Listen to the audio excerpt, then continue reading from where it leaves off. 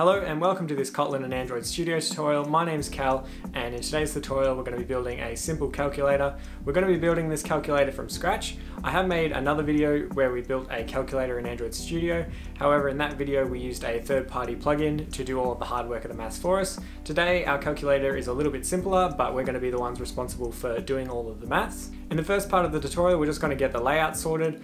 So we're just going to be using some styles and some linear layouts. And then in the second part of the tutorial, we're going to link up all the buttons and make them work. This is just really the bare bones of a calculator, but I could imagine in the future creating more videos where we build upon, add different functions and that sort of thing. But yeah, hopefully by the end of this tutorial, you'll have a functioning calculator which you can then build upon. With all that said, let's get started. Cool, so creating a new Android Studio project. I'm going to call this one Kotlin Calculator app. Our programming language is Kotlin, and I'm just going to hit finish. The first thing we're going to do is head into values, themes, and just delete the night theme. This is just to simplify it all a bit. We're going to remove all of the default colors and add in a few of our own. So I'm just creating a red color, a very dark gray color that I'm calling almost black, as well as an orange. So that's just a pretty simple calculator color scheme. And then we're going to head into our themes. We're going to remove all of the secondary brand color stuff all of the comments and just changing our color primary to be orange and our color primary variant to be our almost black. And then we're going to change the parent theme to app compat and we can close off both of these now and head into our main activity. Firstly, we're going to change the constraint layout to a linear layout, setting the orientation to vertical. Background, we're going to give it our almost black color. Then inside our linear layout, we're going to create a constraint layout. We're going to give it width match parent, height 0 dp and a weight of 2. We're going to give a little bit of padding, so padding uh, 20 dp. And then inside here, I'm going to copy and paste in our text view. So this is going to be our workings text view as well as our results text view. So I'm just going to copy and paste that down. So we've got two text views. The first one I'm going to call workings text view. And the second one, we're going to give it an ID of results text view. We're just going to change the width to match parent on both. We're going to give the top one constraint bottom to top of and giving it our results text view. We're going to set the max lines and lines to 2 on our workings text view, as well as setting the lines and max lines to 1 on our results. We're going to set the text color to be white, as well as the text alignment to be text end. We're going to make the text size of our results 40 SP, so quite big, and just making our workings 25. Cool, so that's all looking pretty good. So I'm just going to remove the hello world text from both of those text views. And then below our constraint layout, we're going to add in a linear layout, giving it a width of match parent, height of 0 dp, and a weight of 1. So this linear layout is going to be each of our button rows. And we're going to copy and paste this quite a few times. So what I'm going to do is create a style. So I've just created a new values resource file calling it styles.xml. Right click and split vertically to have both XML files on the screen at once. Inside here, we're going to create a style. I'm going to name it button row. And our button row style is going to have the same width, height, and weight as the linear layout we just created. And then that way we can then apply that style, which is our button row, to our linear layout. And then when we copy and paste this linear layout and then say we want to change something in the future, there's only one place we need to modify that. Styles is one of those things that you can overuse and underuse. So if you just use a style for absolutely everything, it actually becomes more of a hassle to maintain. Likewise, if you never use them and you're just copy and pasting over and over again, you know, that's harder to maintain as well. Cool, but with that said, we are going to create a button inside our linear layout and we're going to create a style for this button because we're going to have a lot of calculator buttons with similar attributes. So I'm just going to copy and paste our button row and rename it to button number and then apply that style to our button. I'm going to give our button a text of 9 and then I'm going to change the width to 0dp as well as the height to match parent and correctly apply the style to our button just so calling at style and then giving a button number. For our button number style we're going to give it a background of null I'm going to give it text size of 25 SP and then I'm going to copy and paste that button four more times because that's how many columns there are in a calculator, changing the text to 789 and then it's going to be our time symbol. We're going to set the text color to white of our button number, and then we're going to copy and paste our button number style and renaming it to button operator. And so our button operator is going to have a different on click and a different text color. So our button operator, I'm going to apply that to our time symbol and change the text color to orange. I find the easiest way to create an on click for a button that you're going to put in a style is to just create in the button first. With error message, just create the function inside our main activity. So then we can add that on click to our style, just calling it operation action, and the other one is our number action. And then we can remove the on click from those buttons because obviously they're going to inherit that from the style. Cool, so we can close off our styles.xml just to give ourselves a little bit more space.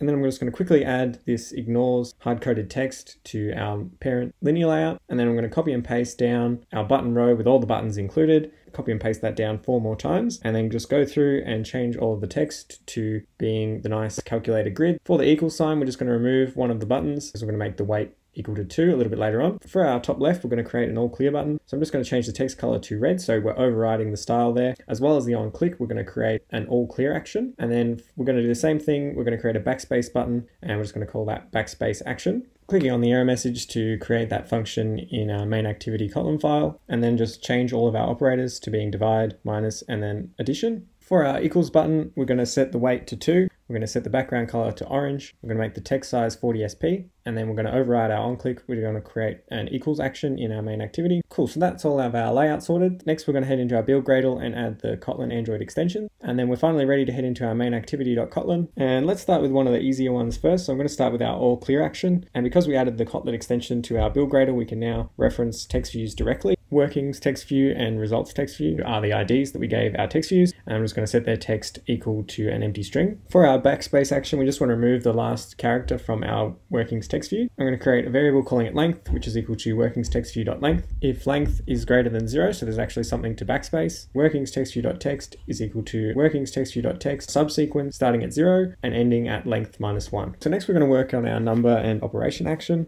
I'm going to add a variable calling it can add operation, which is equal to false, which is going to do a little bit of validation for us. And then I'm just going to open up the brackets of both of those functions. And then inside our number action, if view is of type button, we're just going to say workings text view dot append view dot text. So adding the text from whichever button is pressed. So for example, a nine or a seven, going to put that into our workings text view. And then we're going to copy and paste that down into our operation action. But we're also going to say if we can add an operation, and by operation, I mean a times or a plus symbol. So when we add an operation, we want to set can add operation to false. And then when we add a number, we want to add can add operation to true.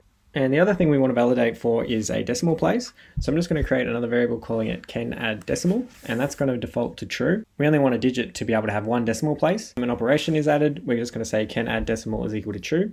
And then inside our number action, we're going to say if view text is equal to a decimal place. We're going to say if you can add a decimal, add that to our workings text view and set can add decimal to false. Otherwise, we're just going to append whatever digit is given. Cool, so let's build and run this really quick and just see that we can add a digit. We can use our backspace button as well as our all clear button. You probably can't tell, but I've been pressing the operator buttons over and over again, and you can only add one operator at a time. As well, you can only add one decimal place to any given set of numbers. So yeah, I'm pretty happy with how that's turned out. Now it's just time to work on our equals action. So inside our equals action, I'm just going to say results and create a function calling it calculate results, which returns a string. And I'm just going to return an empty string for now. And then we're going to create another function. We're going to call it digits operators, and it returns a mutable list of any type. So it could be any type of object. Inside here, we're going to create a list, calling it mutable list of any, and we're just going to return that list. I'm going to create a variable calling it current digit, which is equal to an empty string. We're going to say for character in our workings text view.text. So go through all of our workings, and if you find a character which is a digit, or you find a character which is a decimal place, current digit plus equal to that character. Otherwise, you'll find an operator, which means we're going to add our current digit to float. So we're going to make a float out of that current digit string that we made. We're going to set current digit back to an empty string, and then we're going to add that character, which is adding the operator. And then outside of our loop, we're just going to say if our current digit is not equal to an empty string, we're going to add that digit to float to our list. The idea of this function is to break up our workings text view into an array with floats and characters as operators. Cool, so inside our calculate results, we're just going to put that list into a variable and then we're just going to say if our digits operator is empty, we're just going to return an empty string. Next, we're going to work out the times and division. As BODMAS says, you need to do division and multiplication before you do any add or subtracting. So I'm just going to create a new function calling it times division calculate calculate, which takes our digits and operators list and returns a mutable list of any. We're going to create a variable called list, which is equal to parse list. And we're going to say while our list contains a times or a divide symbol, we're going to create another function which returns a mutable list of any. This function is going to do one times or division at a time, so just going through the list and doing one at a time and then returning that list. We're going to create another variable calling it new list, which is a mutable list of type any. We're going to return our new list and then we're going to create a variable calling it restart index, which is equal to our parse list size. Then we're going to create a for loop to go through our parse list. So I'm just going to say i in parse list indices. If parse list at position i is a character, so meaning it's an operator, and i is not equal to pass list last index, meaning it's the, not the last index, and i is less than our restart index, we're going to say value operator is equal to our pass list at i. Previous digit is going to be pass list, it should actually be i minus 1 as float, and our next digit should be pass list plus 1 as float. So we've got our operator and we've got the two digits we want to times or divide. And then we want to say when our operator is a time symbol, we want to say new list, add previous digit times our next digit. And we just want to do the same thing as a divide symbol, but just changing that to division. Previous digit divided by next digit. And then inside both of them, we're going to say restart index is equal to i plus 1. Otherwise, you've found a addition or a subtraction. We're just going to say new list, add previous digit, we're going to add our operator, and then below that, but still inside our for loop, we're going to say if i is greater than our restart index new list, add the object from our past list at the index of i. Cool, so that should be our times and division all sorted. So I'm just going to copy and paste this if digits is empty line and just change that to our times and division because we're just going to return an empty string if that is empty. The final thing left to do is create a function which calculates our add and subtraction. This function is going to receive a mutable list of any, but it's going to return a float. So I've just put that into a variable. Inside here, we're going to say result is equal to pass list at the index of zero. Take the first float variable and put it into our result variable. Just going to return our result. We're going to say for i in pass list indices. So just looping through our pass list again. We say if our pass list at index of i is a character, meaning it's an operator, and i is not the last index of our pass list. So very similar to our validation in times and division. We're going to say our operator is equal to our pass list at position i. Our next digit is equal to our pass list i plus 1 as float. I'm going to say if our operator is equal to an addition, result plus equal to our next digit. And then we're going to copy and paste that down and same thing for negative. So just minus equals to next digit. Just going to change this to result dot to string.